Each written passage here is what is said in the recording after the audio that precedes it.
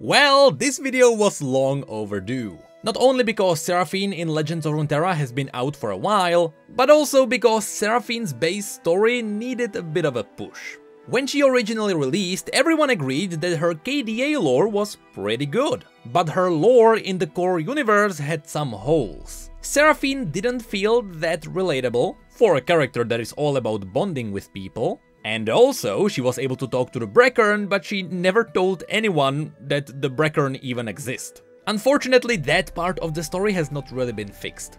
But who knows, Skarner is still on his way. Anyway, I have to say that this is a Christmas miracle. Because Legends of Runeterra, among all the other achievements when it comes to the lore of League of Legends, managed to fix Seraphine and dare I say it, she became a cool character. So without further ado, let's have a look at what exactly did Legends of Runeterra do to Seraphine. It all starts with Seraphine herself. When this card dropped, everyone paused for a moment, because nobody expected just how cool this could be. First of all, you see Seraphine fixing her own instruments. This kinda gives you the vibe of a musician that built their career from the ground up, not a musician that was gifted and so they just magically became awesome. On top of that, as you can see, Legends of Runeterra gave Seraphine a pet. This squirrel is called Acorn, and we'll talk about them in just a moment. Besides this, you can see all the messy tech around her, including the fact that you can count 5 cups of coffee around her, which is definitely very relatable. And somehow the part people pointed out the most is her hair. You can see that she is naturally brown, and when she's not on stage, the pink slowly fades away. This single detail gave Seraphine so much realism, and this overall picture just makes her so much cooler. Anyway, here's what the card says. Seraphine and her dad never talked about her secret trips to the Undercity, or the subtle upgrades she kept making to her stage. She was sure he would forbid her from participating in Zaun's grungiest music duel, but one night he tucked the flyer under her door. All she could do was smile and get to work. I don't think it was ever confirmed what this piece of paper was, but I assume it was one of the blueprints for her stage, which we will see later. Now I'm not gonna show you the level 2 of Seraphine just yet, because that pretty much concludes this story. So instead, let's have a look at Acorn, the Hex Technician. This art is also incredibly cool, because it is amazing to see Seraphine not in her stage clothing. Just wearing that coat does so much for her character. Also, she's riding a scooter with a guitar on her back. This is just so damn cool. And also, Acorn snuck away to go with her.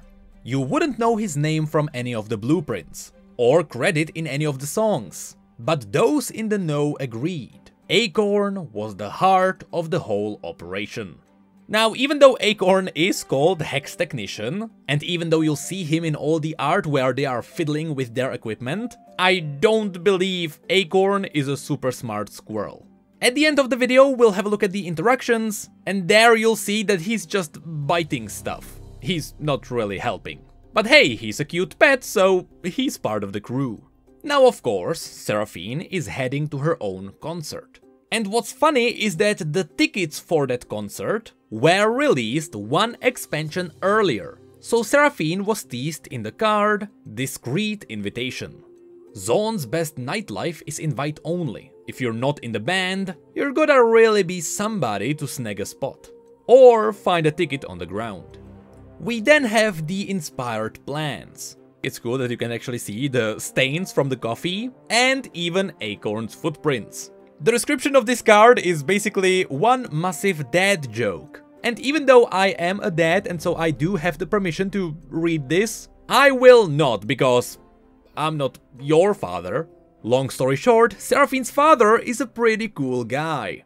Speaking of which, let's have a look at him. This is Seraphine's father. And as you can see, he is fixing Seraphine's guitar with Acorn's help. But you can also see that Acorn is just biting stuff. And the description of this card reveals his great character. Once he had dreamed of leaving Zaun and traveling the world with a song in his heart. Now the world was asleep in her room, waiting for the songs tomorrow might bring. This instantly turned him into a Chad. It revealed that he is fixing Seraphine's instruments while she is asleep. I also love the environment around him. Once again, of course, there has to be coffee, but you can also see that he keeps a picture of her and Seraphine on the table. And as you saw from the description, he was ready to exchange his own dreams for the dreams of his daughter. Now, after Seraphine arrives at her own concert, the first one we get to see is the Zaunite Bouncer. This is the one who makes sure only the ones with the invite get in. In the background you can see some pictures of Seraphine showing that she will be playing here, as well as a reference to Seraphine's KDA, and in the background we can see some characters who will appear around the stage, including the president of the fan club. Now at the concert we do have a card for a drum solo. There is nothing really important about this one, except for the fact that this guy will be on the stage later. Next, there is the fan club president. It's not about how big your voice is, it's about how big your heart is. The quote of the fan club president. Now of course, she herself is holding a lot of references. There is Seraphine's League splash art in the middle, there is a miniature version of her level 2 from Legends of Runeterra on the right, top left is her KDA skin, below that is one of the first pictures Seraphine posted on her social media, and below that is the cat, who also appeared on social media quite a lot. Also, she's holding the KDA glowing ward, which was available in the official merch store. Now, all around her, you can see some characters which we have seen before. From the Yordles to the other technicians to the bouncer in the front to Ekko's crew in the back. You can even see the Ionian guides with the wide hats that appeared in the background of Arcane. And then there is this guy. Apparently, this is some kind of a reference to an anime, I think, but I genuinely don't know where it's from. And then finally, after this, there is the person which Seraphine went into duel with. She was having a duel with the Zaun Diva. Zaun! I hope you're ready to scream, cause we're about to sing this place all over again. The quote of the Zaun Diva. Now as I mentioned, in the background you can see the drummer. But I have to point out that the Zaun Diva is just really cool. It starts with the fact that you can see the hidden scars on her body, especially her chest and her neck. But by far the coolest part of her design is her leg. Not only is she missing a leg, but her leg was turned into an amp for her guitar. And you can see that her mouthpiece is connected to the amp as well. That's how she can be really loud. And behind her, Seraphine is visibly shocked. This one also comes in with the second card called Fatal Encore. The Divas show is totally worth the hearing damage. The quote of fans. Probably. Anyway, this entire concert ends with Seraphine's level 2. She had never heard anything like it. Maybe nobody had. Together, on that stage, they made something new. Of course, this is a cool moment for numerous reasons. First of all, while Seraphine was shocked while the diva was playing, here, the diva is just impressed. But also we have to mention that Seraphine's guitar has a flamethrower. What is this, Rammstein? That instantly made her into a cool character. And here I have to mention one thing. Even though before she was wearing the coats and she was in her normal clothing, here, even though she is on stage, she doesn't have the stage clothing which she has in League. Here, she is more grounded with her design to Piltover and Zaun. And what I believe makes the biggest difference is the gloves. It sounds so stupid, but wearing leather gloves instead of the white gloves that she has in League just does so much for her. All the leather details just made her so much better. And I love this design so much more than what we have in League. It is unbelievable to listen to what I'm saying right now, but Legends of Runeterra legitimately made Seraphine cool. Now, when it comes to the interactions, Seraphine herself doesn't have too many good ones. That is mostly because she launched in Legends of Runeterra with Varus, which is a character not related to her story at all. So she only has a few comments about how she can hear the voices inside Varus's head, which of course are Valmar and Kai. And yes, she also has some interactions with Acorn. Acorn? No chewing on the Hextech! Ugh, ah, Acorn! I knew I should have gotten a cat. As you can see, Acorn is not that smart, even though he's wearing a hat.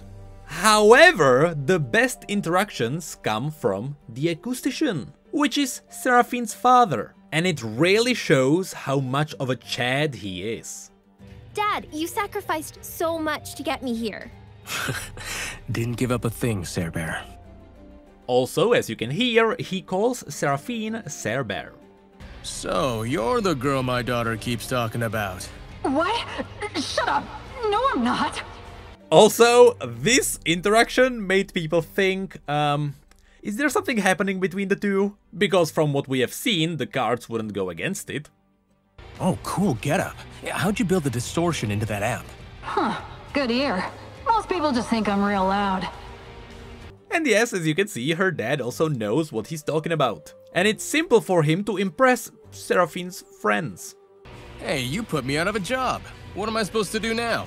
Well, our fan club could really use a secretary. Again, this just makes her dad so cool.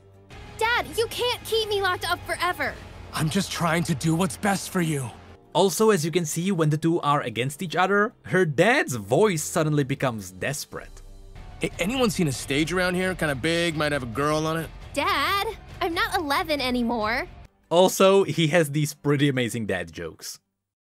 But that's pretty much it for all the cards. Again, as I mentioned, this is a Christmas miracle. And I didn't think this is how I would end the year. Actually, that is a lie, I am planning on making one more video. A video where we talk about, well, what happened this year. But it also means that I'm planning something really cool for 2023. But so far, it seems like the lore of League of Legends is being carried by Legends of Runeterra. I'm not gonna lie, all the new cards are amazing. But it is sad to see that none of this is supported by a story leading to the core universe. But maybe this is just revealing the dire truth. I mean, if we don't get any stories in the core universe, Legends of Runeterra is gonna become the new core universe. And I am totally ready to embrace it.